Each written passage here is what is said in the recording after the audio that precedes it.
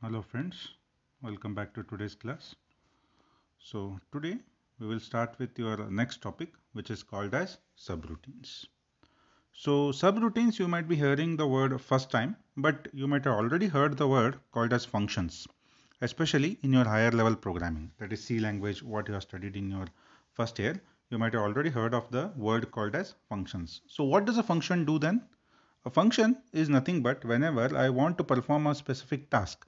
Like say for example, I am doing a program of calculator. Then it might so happen that I have to do n number of functions that is additions, subtraction, multiplication, division and so on. Then to, in order to perform each task, what we'll be doing is we'll be going back to our functions. Okay. So whenever like so say for example, I want to perform an addition, then what we do, the addition program is written as a sub program of a main program. That is, say for example, you will take up the two numbers a and b. Then what you do, you uh, you go ahead and you say, I want to add these numbers. So if I want to add these numbers, you will write a function called as add underscore no number. Okay, then what will happen? The execution would be passing to the function that is add underscore no okay.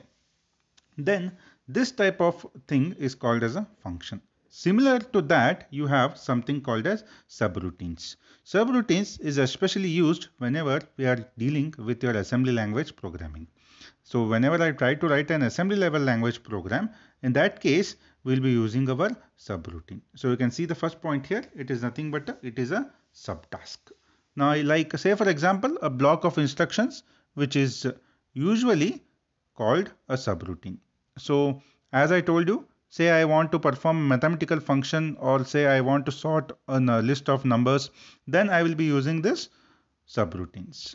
Usually what would happen is whenever I try to do this execution that is subroutine, we need to save the instruction. That is what is the last step I was executing and that step has to be saved of the main program. So if I want to save the last step of the main program, then you require space in your memory. Then any program that requires the use of the subroutine will simply call it from that particular location and it will use it. So whenever a program branches to a subroutine, we say that it is calling the subroutine. That is, it is fetching the subroutine. Okay, friends. So the instruction that performs this branch operation is called a call instruction. So you can see here this is the instruction which is which will be used to perform your call. So a call instruction is nothing but wherein you will be calling a subroutine. So if I want to call a subroutine, we say that it is a call instruction.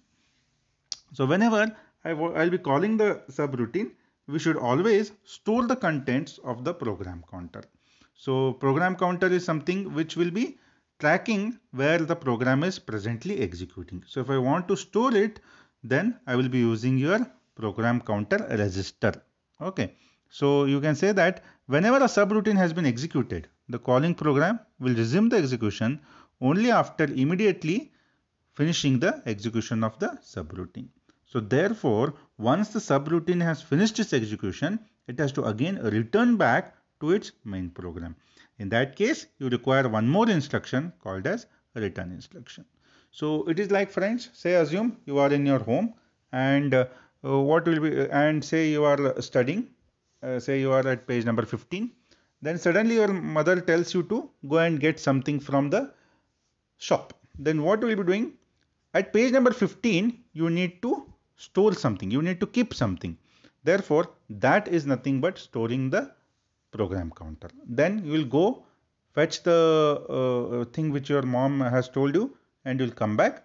And the coming back is nothing but your return address. The going or the when the uh, when when your mother calls you that is nothing but your call instruction. So when you do your call and return what you need to do you need to store where you had where you had stopped studying. So page number 15 you had stored when when you are going to the stop and when you come back where you come back you again come back to the page number 15 itself. So therefore even return instruction what it does once it comes back to the main instruction, it comes to the same address. So therefore you can say in order to do this uh, linking, we need to store the address and that address is stored in a register called as link register. Okay friends. So always remember friends this subroutine may be called from different places. Especially when you have a calling program it could be called from different places and we need to make provisions to move to the different locations. So the location where the calling of the program resumes the execution this is called as the this would be updated in your program counter. So program counter is very essential in this whole task. Fine friends. Now the next very important thing we need to understand is what is subroutine linkage. So what is subroutine linkage then? So it is a way in which a computer makes it possible to call and return from a subroutine. So the simplest subroutine linkage method we have is nothing but to save the return address in a specific location which may be a register again and this register again we call it as a link register.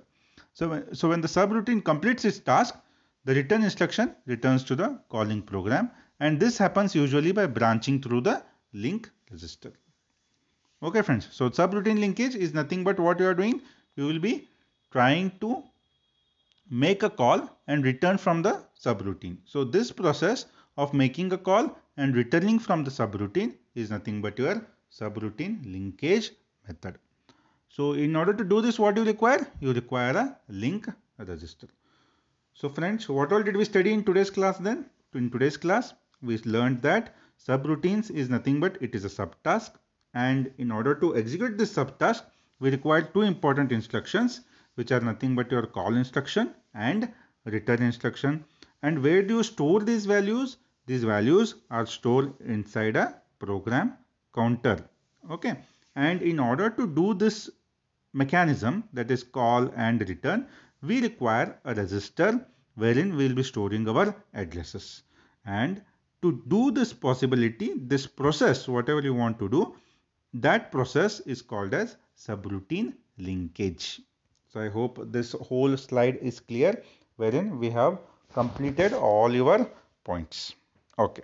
Now, what are the things your call instruction does? That is another very major thing which we need to see now. So the call instruction is usually it is a special branch instruction which performs a few of the operations. To name a few, that is to name very important, it stores the contents of the PC where it stores? It stores the consent of the PC in the link register and the other very important thing it does is it will branch to the target address which is been specified by the call instruction. So therefore your call instruction does two very major things. One is it will store the contents of the program counter in the link register. Second is it will branch to the target address which is specified by the call instruction. So these are the two important things which your call instruction does. You can see that in this below figure now. Once your subroutine has been called, what happens now? The memory location 200, from the memory location, in the memory location 200, you have your subroutine. Okay, so once it has been called, the next instruction, whatever the value of the next instruction will be there, that will be stored inside your PC, which is nothing but your program control counter, program counter okay. Then after storing the value that is 204 of the next instruction inside your PC the same value is also updated in your link register. So that when your main program again resumes it has to see your link register. Okay friends. So once it has been called it will jump to memory location 1000 and inside memory location 1000 what we have? We have your subroutine. Thereby the subroutine starts executing so once the execution has been finished, it will reach your return instruction and what your return instruction will do, it will again go back to PC. It will check where was the last instruction, which was the last instruction executed and it will see that the number, the memory value which is stored here is 204 and again it will start execution from 204. Okay friends. So therefore what your return instruction does then, it, it the one very important thing is it will contain the address which is there in the link register and it will branch to that specific address.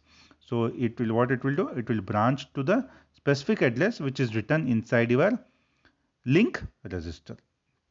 Okay friends, so I hope this whole diagram is clear whatever we have done here. Okay, so next very important thing we'll be having is your stack frame. So what is the stack frame? So what happens usually is what we are saying now we should have a link register. So it's it becomes very difficult to have these link registers inside your processors. And most of our processor architectures doesn't support more of the link registers. That is I cannot have some 50 100 200 link registers. So in order to avoid that what we will be doing is we'll be using your stack frame. So stack frame is something wherein you will be storing your content. So whatever the work your link register was doing the same the same work your stack frame will be doing so what it does it it is nothing but a private workspace and this private workspace is used for the subroutine and what is the use of this? It is used whenever we want to store and fetch your values. That is from the link register what we used to do? We used to store our value of the memory location. Similarly here in your sub stack frame what we'll be doing? We'll be storing the value of the program counter. So therefore this is created at the time the subroutine is entered and freed when the subroutine returns. So whenever you call your subroutine, it gets created the stack frame and when you move out of the subroutine when the execution is over this this stack frame is freed up okay friends next what is this frame pointer then the frame pointer is nothing but it is used to access the local variables of the subroutine so program counter is something what now? It is pointing to the instructions of the programmer. What is frame pointer then? It is used to point the variables inside the subroutine. Okay. So that is the difference between your frame pointer and program counter. Okay. So this is all about your stack frame. Going to the next very important thing which is nothing but your subroutine nesting. So nesting. What does the word nesting tells you? It is nothing but one subroutine inside a another subroutine okay so it is a very common practice in most of our uh, programmings wherein one subroutine would call another subroutine. You can understand like one function would call another function. So therefore what is required then? In this case the return address of the second call has to be stored in your link register. And what care we have to take?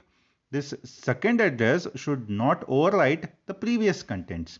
That has to be maintained as usual else. If we don't say what would happen we cannot return back to the main program. We can return back to the subroutine which has been called by another subroutine but we cannot return back to the main program. So therefore we need to store the register sorry the store the address of both the main program which has been called by the subroutine and the subroutine which has been called by another subroutine. And the care we have to take is what now we should not erase the previous addresses from the registers. Okay.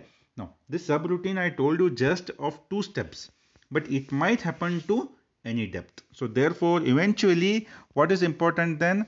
The last subroutine which has been called, it computes and returns the subroutines that called it. So, therefore, the return address needed for the subroutine for, needed for the first return is the last one generated it is something like uh, first in last out. That is the return address will consist of first return which has been generated at the last. So that is the return address are generated and used in last in first out order. That is LFLIFO we call it LIFO. Whatever the last address has been generated will be taken out first and whatever the first address has been generated will be taken out last. So you can observe here in the diagram. So subroutine 1 is calling subroutine 2. Subroutine 2 is calling subroutine 3. So therefore we should first what you should store then we should store the return address of subroutine 3 then we should store the return address of subroutine 2 and finally we should store the return address of subroutine 1. So sorry for the uh, typing mistake there it has to be subroutine return address of subroutine 1 not 3 the last one I am speaking okay. So this is how your subroutine nesting takes place. You can just go through this diagram here. You can see you have a main program you have a subroutine 1 and then you have a subroutine 2 so what is happening here then? The main program is calling your subroutine 1 and the subroutine 1 is calling your subroutine 2 So below there in the below in the below diagram you can find out you have something called as a stack. So what is the stack doing then? The stack you know already it is we go on stacking there. Okay that is first in. Whatever the uh, you can see first what it, it should do now the stacks has been covered in detail in the previous uh, videos. You can just have a look at those videos and uh, you will understand in detail what actually is stack. So you can just observe this figure now. What is happening? Subroutine 1 has been called. Once the subroutine 1 has been called you can find out the stack has been updated with the address of 121 next what would happening what is happening the subroutine 2 is called so once the subroutine 2 has been called, you can see the stack has been updated with the new address, which is 231. And one thing to notice here, friends, they are not erased. They are not overlapped. They are one above the other. Okay. Now, while going back, while going back, which is the first address we require? First, we need to go to subroutine 1. Then from subroutine 1, we need to go to main. That means first address we need to store is what now? 231. From 231, we'll be going to 131. So that's why you can see there 130, 121 is below 231. It is like, say for example, you are reaching a particular building which has some two gates. First you cross the first gate, next you will be crossing the second gate. You will reach your building, right? Then while coming back, which is the first gate you would be coming across? The first gate you would be coming across is the second gate which you have crossed and then you will be coming across your first gate. So that is how you will be reaching back to your source. So friends, I hope the subroutine nesting has been clear. Okay. So the next topic will be additional instructions and uh, this will be dealt in the next class and maybe this will be dealt by uh, Niranjan sir. So here I will be uh, topping my stopping my uh, class. Thank you for watching. If you have any doubts, you can just WhatsApp me or call me on my number. Thank you for watching. Thank you.